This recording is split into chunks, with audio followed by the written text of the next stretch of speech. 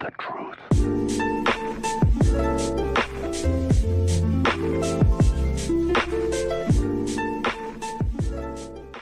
Hello everyone, welcome to another video. My name is Crypto David and today we're going to talk about Quant QNT and the title of the video is today Quant is like having a winning lottery ticket. Every time I accumulate purchase Quant every week, every month or so, I feel like I'm winning every single time.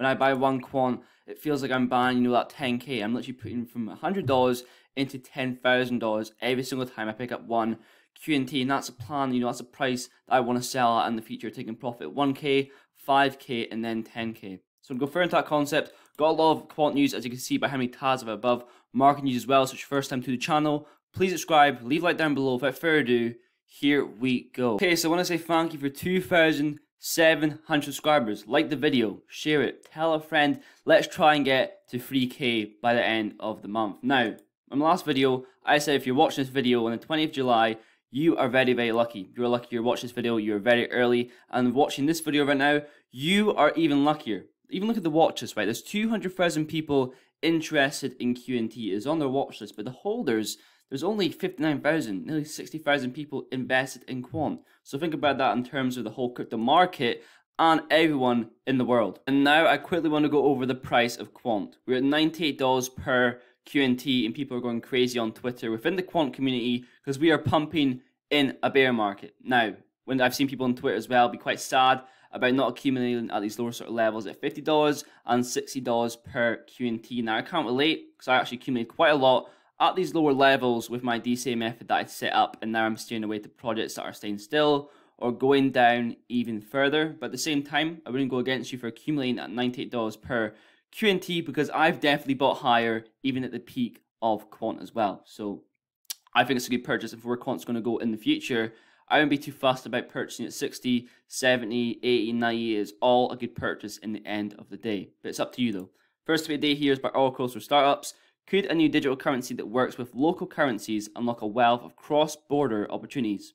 Here's how Quant Network and LSC Chain support interoperability with blockchain. We are seeing top Fortune 500 tech companies show Quant on you know a regular basis that we're seeing on Twitter here as well. And let's go to some of the stats of Oracle. So 133,000 employees, 40 billion total revenue in 2021, and 20,000 partners across the globe. And the partnership between Quant and Oracle will allow these 20,000 partners to use Quant's Overledger software. Do you realize how insane that is? As well, another tweet here by Quant Network themselves. 1,900 people have taken our intro course with King's College on Overledger, the world's first blockchain agnostic API gateway. Learned how to write apps in a dozen different coding languages that run seamlessly across most blockchains. Not only are tackling payments, supply chain, compliance, capital markets, digital currency, list goes on and on. They are empowering 27 developers, 27 million developers to become certified blockchain experts. And if you're interested in becoming 1901,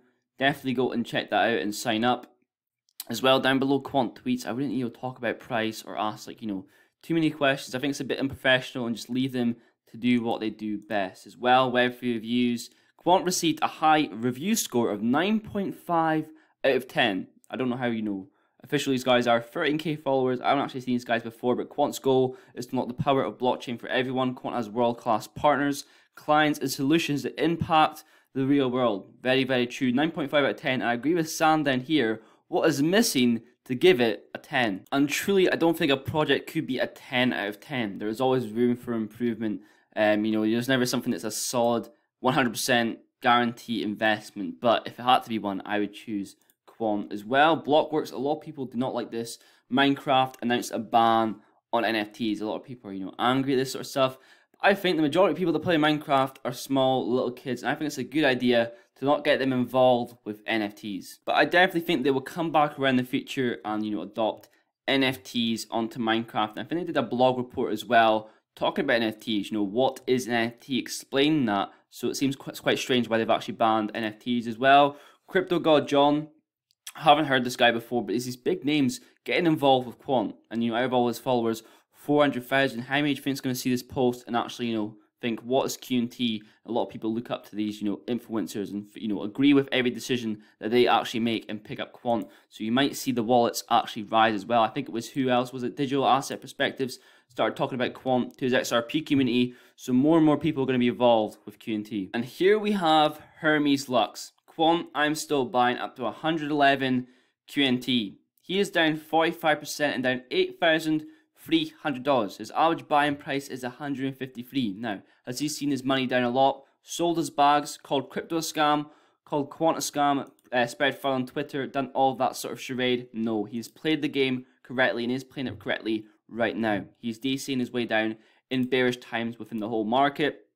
I like as well he took a picture so you can look back on this picture when it's you know 2023, 2024, 2025 and realize that he's made the right decision. We also have an article here, Quant Network Fast Company. Now we talked about this in the last Quant video, but there's two paragraphs here that I want to read and quotes from Gilbert Verdian himself. So, the speeding cost of payments and remittances remain a key challenge for business owners exporting products in Latin America. They often have to wait weeks to be paid. It comes down to cash flow. There's a lot of uncertainty, and you have to, you can't have transparency of where your money is and how long it will take to get paid. So it's a case of wait and see for the business owner, says Quant's founder Gilbert Verdian. So to solve this issue, LSC Chain uses blockchain and integrates it into the core banking infrastructure. Users can then receive payment in the form of new digital Latin America dollar straight away and redeem it as a local currency from their bank. This part here is the most important. Real-time digital assets uh, make getting paid instantaneous. All users need is a phone, says Gilbert. And LSC Chain as well have already, you know, fulfilled with their services. I think 1.6 million people it is insane. I will lastly leave you guys with a video by Quant Network. Could CBDCs have helped prevent the 2008 financial crisis? Gilbert Verdian believes so, as explained to the fellow panelists. Talks about how, you know, they could have saw the risk, prevented it before it came to the situation what was. Very insightful by Gilbert Verdian. As well, on the community section, asked a question, how many of the ISO 20022 list do you hold? The most voted one is 5 plus, and I'm the same option as that. I'm guessing the people who watch my videos would at least have one. Obviously, it's not a zero option, but I'm guessing that would be the case. Be sure to follow me on TikTok. Daily TikToks, post some about Quant, all the products I talk about, and just various stuff on TikTok, and post some of them to my YouTube Shorts channel. If you made this far in the video, thank you very, very much for watching. Please leave a like down below, and I'll definitely see you guys in the next one.